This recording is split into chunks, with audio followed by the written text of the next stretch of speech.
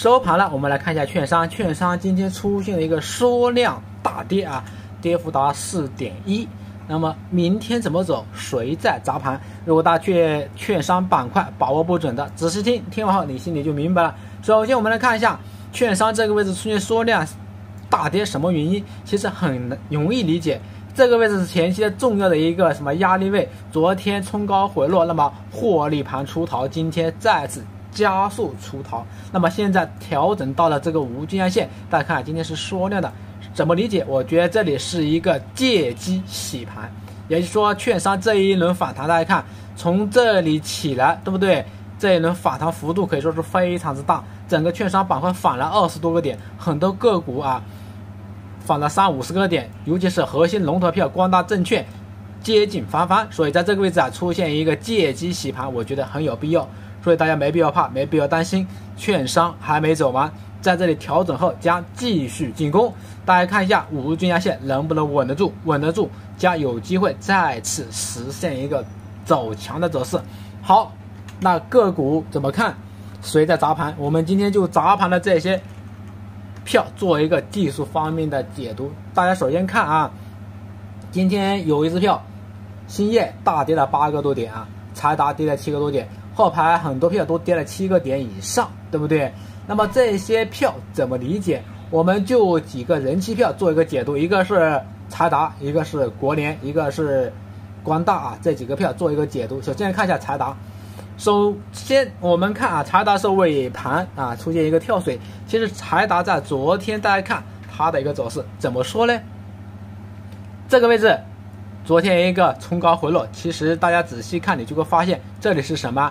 前期的主要套牢盘，对不对？我一直强调大家到了重要支撑位或者说重要压力位的时候，一定要注意。大家看昨天冲高是吧？在这个位砸盘，那么今天顺势低开往下杀。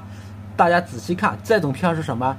连续两天放巨量的大阴棒，那么这里可以理解为出货啊，可以理解为出货。为什么这么说啊？大家看它的一个走势，它中长期是属于一个什么下降趋势，这个趋势并没有改变。那么这一轮为什么会表现这么强势？主要是因为券商板块整体拉升。那么从技术方面来说，财达在这个位置是它的一个底部区间，但是连续两天放量下挫，那就要告诉大家了，在这个位置的票，这个位置被套的人在这两天砸得很凶。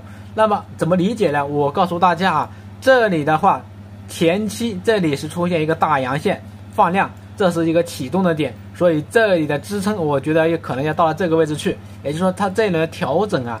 要到了下面这个位置去，才有可能站稳。这么说，大家是不是明白了？大家看一下三十六十结合来看啊，大家看一下三十分钟图，发现三十分钟图的财达证券在这个高位，高位这个位置出现放量，对不对？你看连续调整，那么调整到位没有？没有，它这个调整的位置在哪里？六十年线，这里是八点八五。这么说，大家看一下，它九点一七调整到位没？没到位吧？是不是？从三十分钟图它来看。它六十分钟的支撑位在八点八五，我们看一下六十分钟图。六十分钟图，大家看它的一个强支撑其实很明确，就是在这个位置。三十分钟图这个位置，对不对？三十分钟图这个位置，这个强支撑，现在它调整到了二十天线，二十天线还没到三十天线线位置来，所以它如果要调整到三十天线这位置，那么它的位置在哪里？八点四八，也就是说它调整的重要支撑位其实要到八点四八。我这么说，大家能够理解了吧？那么现在是九点一六八点四八，是不是还有六七个点的一个调整幅度？好，大家看下指标 MACD 值，这里出现高位时差。我们回到日 K 线，那么回到刚才的问题，八点它的调整幅度八点四八在哪位置啊？其实大家看啊，它目前这个位置是无均线，现在位置能不能顶得住？顶不住，对不对？那么它就应该向着下面的。十日均价线在位置去，十日均价线在位置，大家看目前是在八点七四、八点七五这样子。那么这位置我觉得不一定顶得住。下面的是八点三三，这里是多少？七点九六。其实刚才说了，它在六十分钟图的一个强支撑是八点四八，也就大概在这个二十天线附近，也就是在这个二十天线附近啊，这个位置，这个位置。所以大家要注意了。查拉证券调整还没结束，还将继续调整。但我感觉这个位置还不一定顶得住，所以啊，手中有查拉证券的高位啊，这些票啊，进场的啊，大家要注意这个节奏。就算你在这个位置啊，大大金融板块、券商板块，明天后天啊，或者说出现一个冲高的动作、反包的动作，但我反而觉得在这个高位被套的朋友是什么？是出货的时候啊，而不是加仓的时候，不是追高的时候。这个票明显的是属于券商板块的一个什么跟风的走势啊，它不是这一轮券商板块的核心票、前排票、龙头票，所以大家要积极的去弱留强。好，我们再看一下国联证券，国联证券尾盘也是出现一个下杀，那么现在是跌到了七块啊，跌到七点七三，十一块八毛二，这位置到位了吗？但是从技术方面说，它调整今天有个好现象就是。它是缩量，对不对？那么它下面还有十日线、六十天线，我觉得这一轮调整，它要看一下六十天线这个位置来。六十天线目前是十一块一毛八，所以它调整的幅度还有五六个点的一个下行的趋势。那么这五六个点还不一定能够顶得住啊，这个六十天线还不一定顶得住。其实它真正的调整支撑位其实就到这个位置，十一块一毛五。侧位数的话，它调整幅度还是比较大的，空间还是比较大的。我们结合三十分钟图、六十分钟图再来看一下啊，大家看一下三十分钟图，它其实已经跌到重要支撑位，也就是说跌到这个六十天线这个位置了，它的这个位置啊已经跌到位了啊。那么这里会不会存在一个小幅度的一个超跌反弹呢？目前来看啊，还没有站稳的信号。我们再看一下六十分钟图，六十分钟图它没有跌到位，它六十分钟图的。支撑位主要是在六十天线，也就是十一块零八。大家看一下，跟刚才说的那个图啊，十一块零，十一块多，基本上重叠。所以它的第一个支撑位就到十一块零八。我们回到日 K 线，六十分钟的支撑位就是在十一块零八。大家看啊，刚好真跟这个这个位置日 K 线里面的。六十天线基本上差不多，所以这个六十天线这个位置就是存在第一个支撑位，还不能支撑得住啊，所以大家注意啊，手中有票的啊，尤其是高位进场的朋友啊，逢反弹大家可以考虑出货，但是没票的，但这个六十天线这个位置可以考虑做低吸啊，但是还不一定稳得住，所以它真正的支撑位其实在这下面这个位置，也就是说十块一毛五这个位置，它调整的幅度啊和空间还会有。但是也有个例外，比如说券商板块是吧？明天卷土重来，实现一个反包的话，那么它有冲高的预期。但我觉得它冲高的话，就是大家高位被套，也是解套的机会。目前它走势是偏弱的。光大证券啊，顶了一上午，对吧？上午很强势，但是到下午，尤其是尾盘加速跳水，这是获利盘快速的出逃。那么这里怎么理解？我们看一下它的一个 K 线，今天是一个放量的大阴棒。那么它的龙头地位是不是就保不住了呢？所以这里怎么看啊？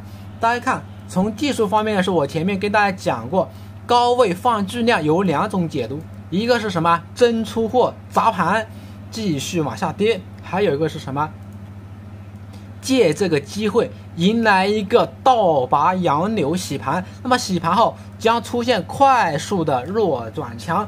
大家记住啊，明天要不就是低开快速弱转强，要不就是直接高开实现一个反包，这两种走势才是主力要洗盘动作。否则的话，那么直接被河岸流是吧，在这里上不去了，那么基本上就是说明光大证券要出货了。光大证券这是出货的表现，那它的龙头地位就不保了。我这么说，大家应该明白啊。